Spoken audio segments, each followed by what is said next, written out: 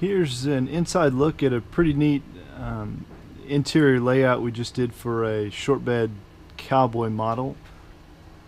As you come in the door here on the left you've got a storage cabinet down below and then a clothes rod up top to hang all your clothes and then a lip on here so you can store more stuff at the bottom.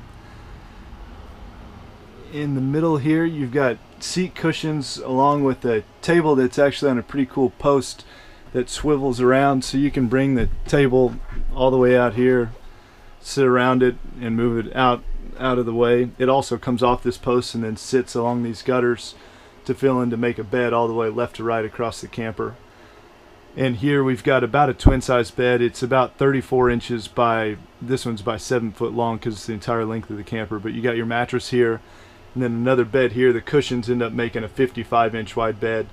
Um, so if it's just one person you can decide which way you sleep. If it's two or three obviously most people aren't seven feet long so your feet can overlap there in the corner. If you got two or three people sleeping together that way you got plenty of space. And you also have space down here for storage or to sit lay one more person down on the floor.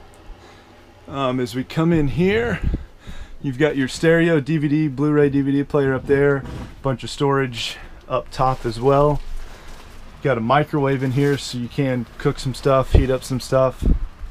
Also a 32 inch flat screen TV. In this small space, it's kind of like your own little home theater.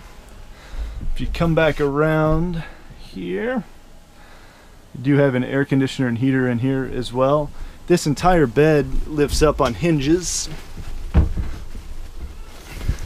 So you do have tons of storage underneath as well, and then your battery system down there. So pretty neat design, gives you a lot of space in here to do what you need with for yourself or a couple people in a smaller short bed cowboy. Hope you enjoyed this inside look.